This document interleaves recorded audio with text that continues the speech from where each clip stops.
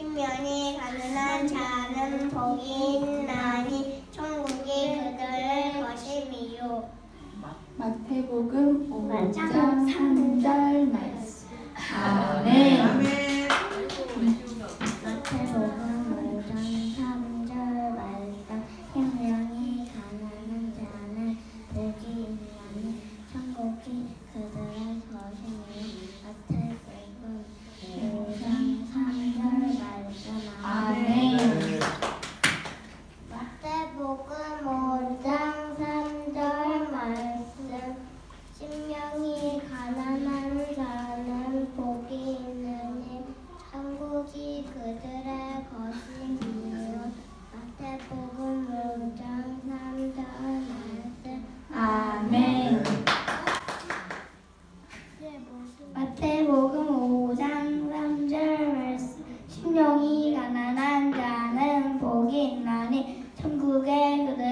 42, 마태복음 5장 3절 말씀.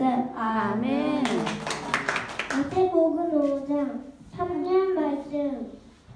신령이 가난한 자는 복이 나니 천국이 그들의 것이요 마태복음 5장 3절 말씀. 아멘.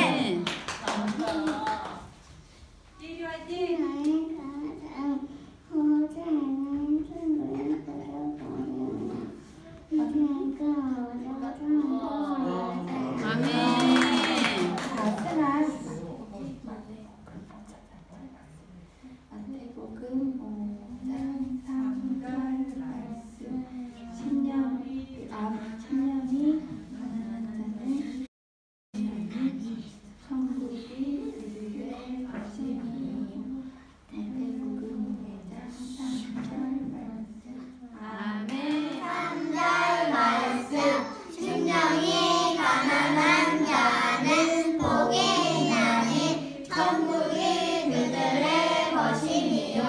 마태복음 5장